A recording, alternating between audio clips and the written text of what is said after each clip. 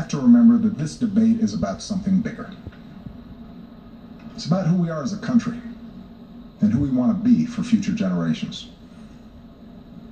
Are we a nation that tolerates the hypocrisy of a system where workers who pick our fruit and make our beds never have a chance to get right with the law?